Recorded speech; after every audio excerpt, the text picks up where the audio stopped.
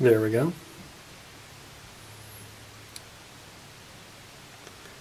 See if I can get it to focus a little bit.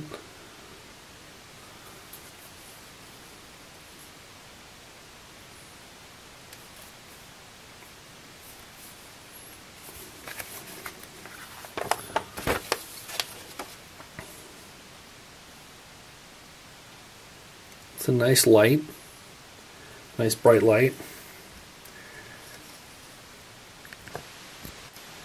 It's not warm at all.